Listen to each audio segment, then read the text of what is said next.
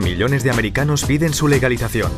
to have safer communities if we choose to control cannabis. En California, centenares de miles pueden ya comprarla para fumarla o como producto alimenticio.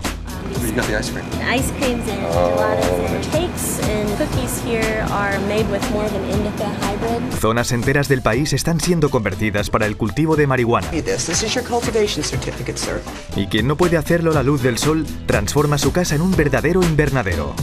In the last three, four, five years, we've seen a great phenomenon of indoor marijuana grows, and that's all around the country. Los cultivadores ilegales llegan a explotar las tierras de propiedad del Estado. El gobierno les declara la guerra. Look straight down at the trees right down here. See the brown surface? Okay, that's the garden. Y el debate público se está volviendo explosivo. I mean, pot just rips your lungs up. Pero ¿qué está pasando en el mundo de la marihuana? En todas las civilizaciones conocidas, el cannabis ha sido la planta más útil para toda la humanidad. You can make paper out of it, that you can make cloth out of it, you can make cord out of it, you can make oil, you can make medicine. You can make food out of hemp seed oil. You can burn it in a lamp. You can make rope. You can make plastic from hemp, paper from hemp, wood from hemp, oil from hemp, fuel from hemp, name it. Usada desde la antigüedad para combatir malaria, reumatismos, dolores menstruales, epilepsias, cólicos, gastritis, anorexia, tifus y otras decenas de enfermedades, la marihuana había llevado al médico personal de la reina Victoria a declararla uno de los medicamentos más importantes a disposición del hombre.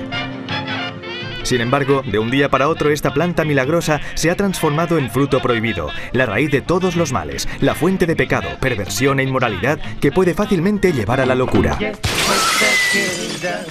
Let's go, Jack. I'm red hot.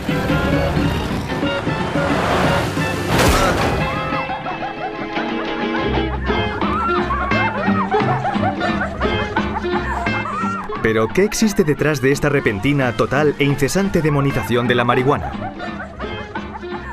¿Quién era Harry Hanslinger, el hombre que hizo vetar la marihuana en todo el mundo? ¿Quién lo financiaba a escondidas? ¿Qué nos han revelado las decenas y decenas de investigaciones gubernamentales sobre el uso del cannabis? Well, Bill, it's been about two hours since you got the drug. How do you feel? Fantastic. Hoy en día, ¿qué sabemos de cierto sobre las calidades médicas del cannabis? Cannabinoids kill cancer cells in many cases. People are not aware of that. They think cancer, cannabis, anti-nausea. It's way beyond that. Si la marihuana es prohibida, ¿por qué algunas farmacéuticas pueden producirla en sus naves industriales lejos de los ojos de todos? Marinol is pure synthetic THC tetrahydrocannabinol. And Marinol is a prescription item. ¿Qué pasa en aquellos países donde las drogas son completamente legalizadas? Since decriminalisation, the consumption of drugs here in Portugal has gone down. Pero entonces, ¿quién se beneficia de esta obsesiva, incesante y terrorífica guerra en contra de la droga?